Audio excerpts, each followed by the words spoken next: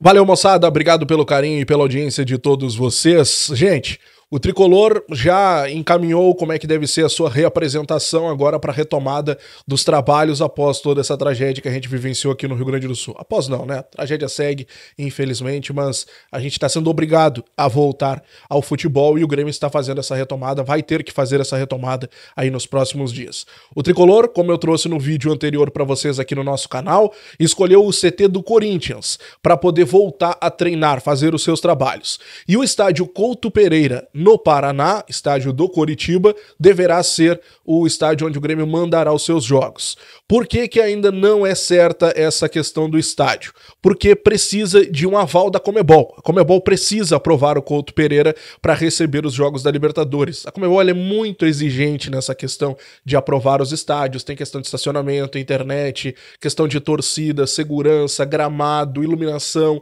Então tem muitos detalhes que a Comebol precisa aprovar e a tendência é de que a Comebol Comebol aprove, tá? Mas o Grêmio precisa passar por esse aval da Comebol para poder definir o Couto Pereira como seu estádio a partir de agora, mas o tricolor treinará no CT do Corinthians. Inclusive, a reapresentação dos jogadores deve acontecer na noite desta quinta-feira, já lá em São Paulo. Então o Grêmio treina no CT do Corinthians e joga no Couto Pereira, a Comebol aprovando o estádio uh, nessa nova avaliação que a Comebol deve fazer. Beleza?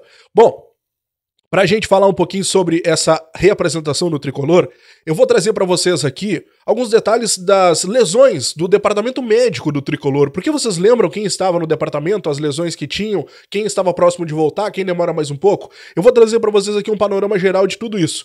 Porque a gente precisa superar a falta de ritmo, quase um mês parado, passou quase um mês de tudo isso, né? Vai passar, vai completar quase um mês quando o Grêmio ali estiver voltando lá no dia 29. Então a gente precisa trazer, eu vou trazer para vocês aqui um panorama geral de tudo isso. Nós temos no nosso DM hoje Jeromel, Pavon, Mike, Reinaldo, Jonathan Robert, Mila, André Henrique e Gustavo Martins. O Reinaldo, a gente até tira dessa lista porque o Reinaldo ele já estava voltando, já estava na transição física, já estava praticamente liberado para os trabalhos mais pesados. Então o Reinaldo a gente até tira dessa questão aqui. Porque o Reinaldo, ele já trabalhava com bola. Então o Reinaldo ele já está praticamente à disposição do Renato. Claro que ele está com uma defasagem muito maior do que o resto da equipe, afinal de contas o Reinaldo ele está sem jogar desde o dia 2 de março, enquanto o resto do pessoal fez o seu último jogo no dia 30 de abril. Então, claro que o Reinaldo tem uma defasagem muito maior. Mas ele vai readquirir com o resto do, do grupo aí nessas duas semanas. E quem sabe já fica à disposição para o confronto contra o Destrões.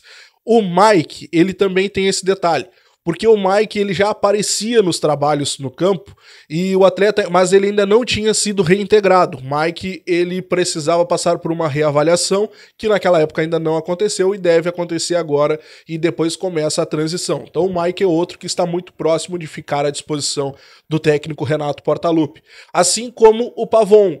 O Pavon, ele fez a sua última partida contra o Atlético Paranaense no dia 17 de abril.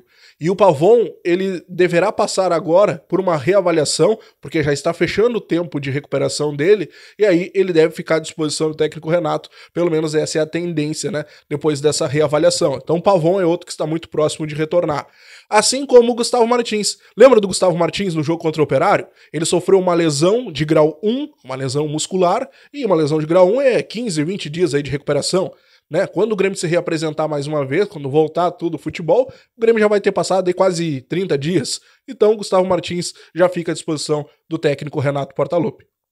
Nós temos ainda no departamento Jonathan Robert e Mila com lesões no joelho, e esses, assim, deve demorar mais. O Jonathan Robert, inclusive, passou por cirurgia nas últimas semanas ali antes da paralisação, e o André Henrique teve uma lesão multiligamentar no tornozelo. Esse demora um pouquinho mais também, tá?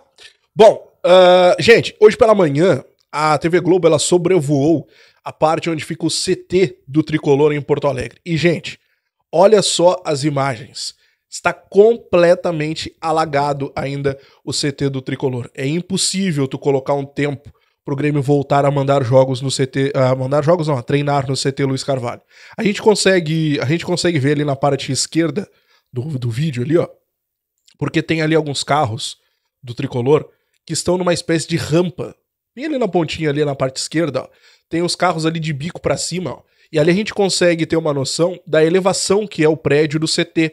Porque embora o gramado esteja muito alagado, esteja comprometido, o CT, a parte ali onde ficam os equipamentos, as academias, a garagem ali, ó, ali não foi tão afetado, ali não chegou a entrar água. O Grêmio até fez um trabalho de levantar todos os equipamentos, com medo que a água acabasse entrando na parte do prédio, mas isso felizmente não aconteceu, o Grêmio não teve esse prejuízo. O Inter teve. O Inter, tá, inclusive, está beirando os 35 milhões de prejuízo porque perdeu todos os seus equipamentos. O Grêmio conseguiu evitar tudo isso, né? Porque é uma parte bem mais alta ali do prédio em relação ao gramado e o Grêmio conseguiu evitar todos esses prejuízos. A gente consegue ver que tem água lá na beira da pista. Olha só, tem muita água ainda que precisa ser, é, precisa ser retirada. Então vai demorar bastante ainda para o Grêmio voltar a treinar no CT Luiz Carvalho.